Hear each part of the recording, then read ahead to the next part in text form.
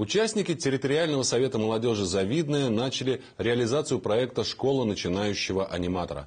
Наставники, имеющие большой опыт в плане проведения детских мероприятий, готовы поделиться секретами мастерства со всеми желающими. Кто пришел на первый урок и какова главная цель этих занятий в нашем сюжете.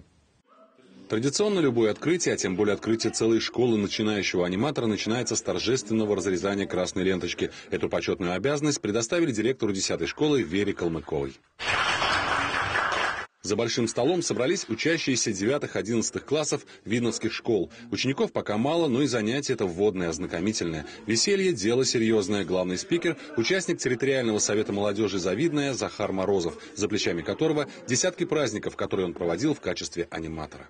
Если вы одели костюм, неважно, Дед Мороз, Снегурочка, Баба Яга, неважно, вы все, вжились в роль. Десятая Видновская средняя образовательная школа уже давно является не только учебным заведением, но и своеобразным культурным и административным центром микрорайона Завидная. Она часто становится креативной площадкой для проектов территориального совета молодежи Завидная. Мы сами, школа, заинтересованы в подобном взаимодействии. Поясню почему.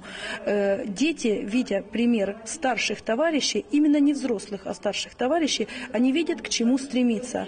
Это тот положительный пример, ориентир, на который мы нацеливаем наших обучающихся. В минувшем году участники территориальных советов молодежи начали активно развивать формат, придуманный клоуном Алексом. «Наш двор» – так называются игровые программы для детей и взрослых, которые проводятся на территории Ленинского района. В будущем году таких интерактивных площадок планируется проводить больше. И мы решили, что э, надо приобщать молодежь к ведению праздников и, так сказать, решили обучить их, как и правильно вести. И им это пригодится в жизни перед выступлениями как ораторское искусство. Действительно, создатели школы начинающего аниматора считают, что навыки, которые учащиеся приобретут в процессе занятий, помогут им и в обычной жизни при сдаче экзаменов, при выступлениях на сцене. Проверка полученных знаний тут же, с учениками младших классов. Впрочем, многие смогут это сделать даже дома. Я пришла, потому что ну, мне нравятся дети, ну, у меня и дома много детей, и вообще мне, в принципе, окружает много детей, ну, и мне нравится с ними проводить время, вот. Да? А много детей, это что значит дома? А, у нас трое.